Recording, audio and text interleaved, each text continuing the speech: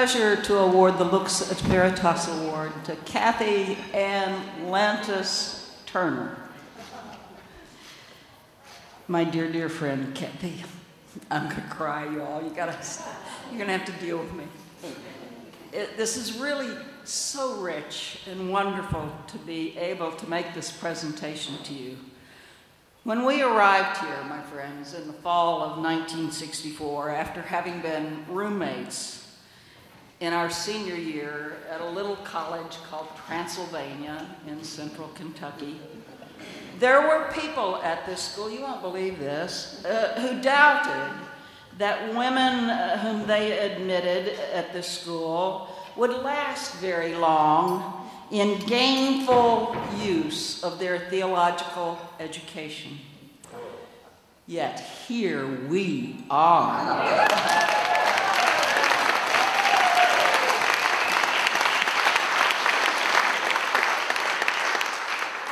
52 years of parish ministry and ecumenical ministry, and you have 50 plus years as a chaplain and clinical pastoral education. We showed them, didn't we, Romy?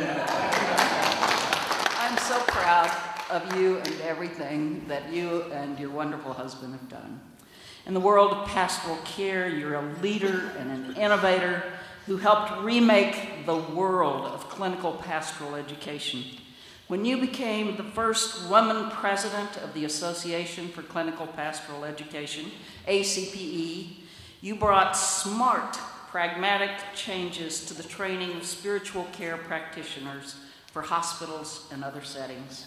You made sure CPE is truly hospitable, immersive form of ministry that reflects deeper values of inclusivity. Arriving here at YDS as a student, you plan to be a social worker, but your experiences uh, here as a hospital chaplain and working with Ed Dobihal and people in crisis and transition clarified your vocation. You soon pursued the field of training spiritual care professionals. Life's adventures enriched your contributions. You married fellow YDS student Greg Turner, and together you moved to Brussels, where you had two sons and founded a counseling support center. In Belgium, you also taught pastoral care at a Catholic seminary, a rarity for a Protestant clergywoman in those days. Who was pregnant at the time. and when you and Greg returned to the United States, you continued the chaplaincy path and completed your clinical educator certification. You stepped in as an interim parish minister. In Oregon, you did hospital chaplain work and oversaw a pastoral counseling center. In 1992, you were elected the first woman to be president of the International Council on Pastoral Care and Counseling. In so called retirement, you got busy again, taking interim positions in various Seattle hospitals, assisting CPE programs, went to Hawaii once, you lucky thing, and ensuring high professional standards once again.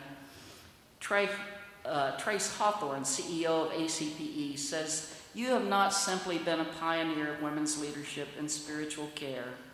You have helped transform the way organizations are governed, paving the way for women in leadership.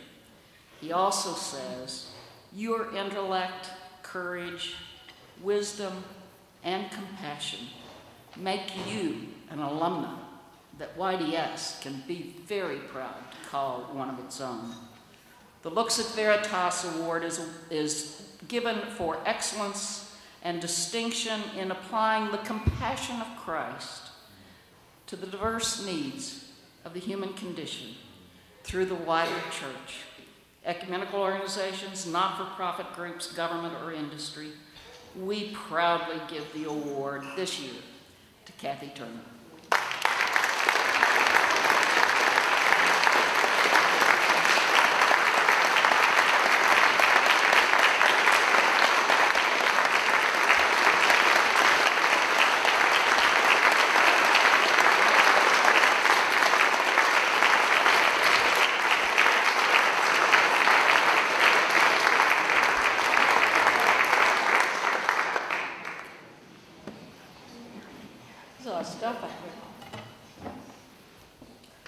What I forgot was my glasses.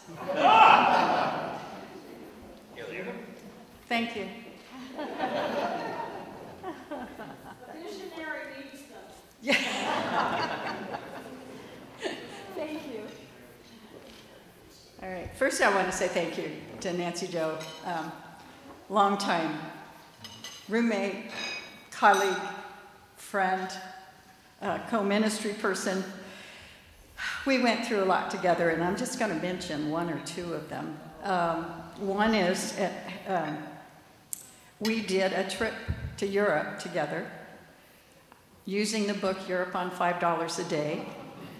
Uh, that sounds impossible now. It was nearly impossible then.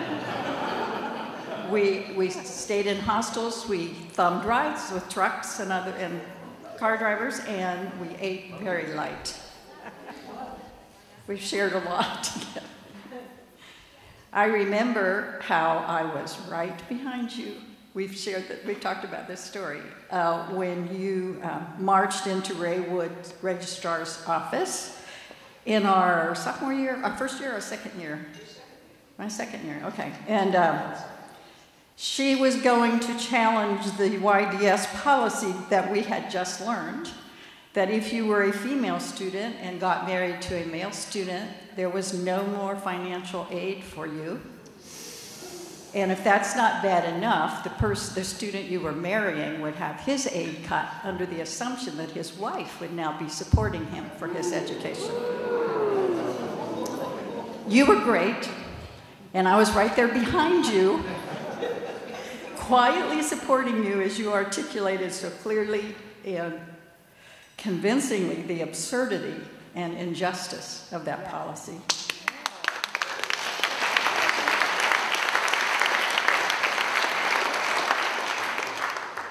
And that incident was certainly a remarkable indicator of the strong leader and advocate that you were to become, or continue to be, that earned you the William Sloane Coffin Award very recently here. Thank you again. Okay. Now my two minutes start. this is kind of rough following a couple preachers. I am not a preacher.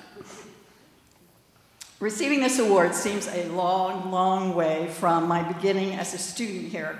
I first arrived at the campus uh, during my Christmas vacation, my senior year in college. Having applied, I thought I'd better come and see what the place was. The first thing I did was visit the registrar's office and I introduced myself as a prospective student. And Mrs. Marston immediately said, You have to meet with someone tonight and I will set it up. And she did. I had a meeting with Professor Miller, Randy Miller, and he told me that I had, that very day, been considered by the admissions committee, and they had put my application aside because they were, they were divided on whether I should be accepted or not.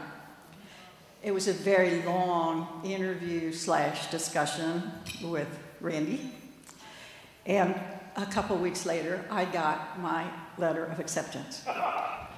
And I have long carried the suspicion that I really didn't belong here, but I had talked my way into this venerable place. I have a second powerful recollection, and that is of the opening worship service my first year. The dean, who was presiding, stated that he wanted to welcome all the men who were here to study theology and the women who were here to find a husband. I was stunned was it a joke? I don't remember anyone laughed, and it certainly didn't feel funny to me. In the end, five years later, I left the school feeling I had outfoxed the expectations. It was not an either or, I had accomplished both.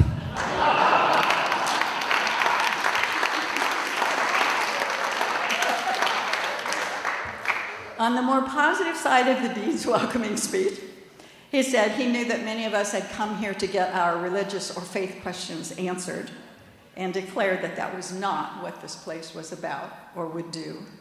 The school was about teaching us how to know what the important questions were. And I think that set me on the right path for my investigation and study.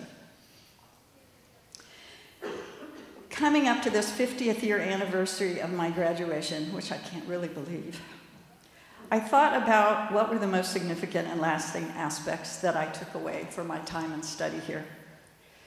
The first one has to be the blessing of having had Dr. Ed Dobihal as a teacher in a course at the hospital. I had come to YDS with a very real sense that I had a call to ministry, but I had no clear idea of how that might be lived out, because it seemed to me at the time my options were pretty limited. The course in hospital ministry I took with Ed down at Yale New Haven Hospital was a transformative one for me. It provided clarity and conviction about my call and future. Ed and the patients that I visited ordained me into ministry. They told me I could do it. At first, I focused in my chaplaincy on a ministry uh, on end of life issues, the feelings and dynamics of folks in that situation. And you may not believe this, but at that time in the hospital, no one was dying. They were either getting better or they were dead. There was no honesty uh, with patients or their families. So much was going unaddressed, unspoken. After that, I began to do some training, further training to become a clinical pastoral educator thinking grandiosity that I could provide experience and an education for people studying for the parish ministry that they needed to learn what YDS was not teaching how to be human and relate. They came with all the theology, but they didn't have the compassion yet developed or understood it, the, what it meant. The three themes I identified from my time at YDS are not exclusive to me and my experience, but they are nonetheless core to my faith development and my ministry.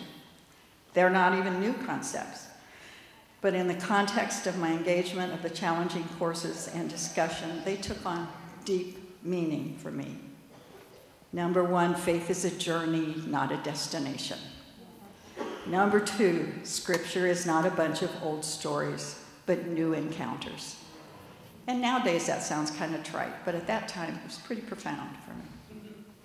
The third one was that spiritual care is not techniques, but the invitation to a relationship that can produce deeper, richer understanding and integration of one's faith and experience and person. My years of ministry with patients, both with physical or mental illnesses, uh, with their families, with staff in the institutions, with seniors, with prisoners, and with students, accompanying them at times of crisis and transition have been spiritually challenging as well as very rewarding. And together, as together, we searched for sources of strength and healing, for hope and growth. The teaching dimension kept me scrambling at times for additional learning as the students kept coming from fresh from seminary, full of new language and new trends in theology and vocabulary. Living out my call to ministry as chaplain and clinical pastoral educator and a part of the governance of the Association for Clinical Pastoral Education. These have been my passion, my nemesis, my honor, and my challenge. My focus has been that of helping to reshape the pedagogical style, one that is deeply personal, intense, and intimate, and its content into a more accepting and informed, gender appropriate, effective educational experience. I have definitely been stretched and expanded my knowledge and my own spiritual awareness and perspective as I engage with students exploring and seeking to find integration and healing of person and ministry around such issues as gender identity, racial bias, ethnicity, faith tradition, and lots of other diverse perspectives.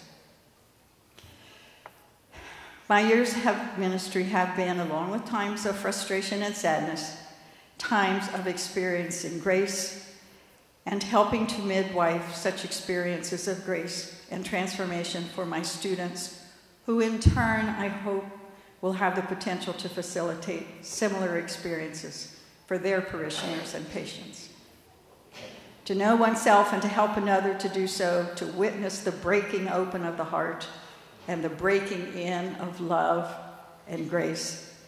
To listen to and learn from the living human document is sacred work indeed. And I have been blessed to have such a ministry. Greg, my other significant takeaway from YDS. Greg and I were fortunate to live in a variety of places and to travel extensively with our ministries, both in the US and abroad. We've shared the raising of our two sons and now enjoy time with our three granddaughters. Our lives have been full and richly blessed.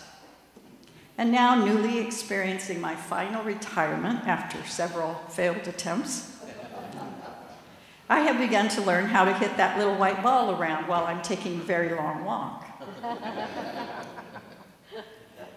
In closing, let me say again thank you uh, for this moment of recognition from YDS. I receive it not only as a recognition of me and my ministry, but as a significant affirmation by the Divinity School of the value of clinical pastoral education and chaplaincy as another sacred pathway of ministerial education and ministry with and to others. Thank you.